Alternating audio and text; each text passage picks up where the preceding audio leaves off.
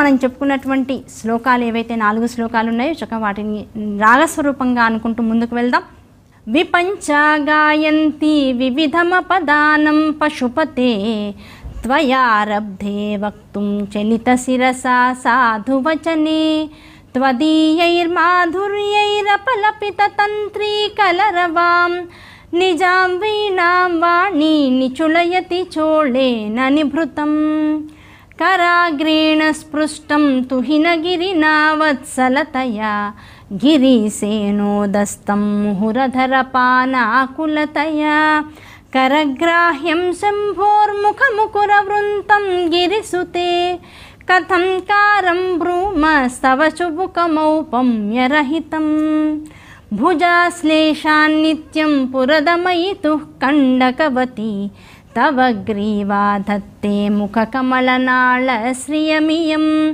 स्वतस्वेता काला गुरुबहुलजम्भालमलिना। मृणालीलालित्यं वहति यदधोहारलतिका गळे रेखास्तिस्रो गतिगमकगीतैकनिपुणे। विवाहव्यानद्धप्रगुणगुणसङ्ख्या प्रतिभुवः। विराजन्ते नानाविधमधुरयागाकरभुवां त्रयाणां ग्रामाणां స్థితినియమసీమాన ఇవతే రాజానుకూలతని ఐశ్వర్యాన్ని దంపతుల మధ్య అనురాగాన్ని సౌభాగ్యాన్ని సుమంగళిత్వాన్ని ఆరోగ్యాన్ని అన్నిటినీ కూడా అనుగ్రహించగలిగేటువంటి శ్లోకాలు సౌందర్య లహరి శ్లోకాలు కనుక జాగ్రత్తగా ప్రతి వాళ్ళు అనునిత్యము కూడా పఠించుకుంటూ ఆ పరమేశ్వరి అనుగ్రహానికి పాత్రలవ్వాలని మనస్ఫూర్తిగా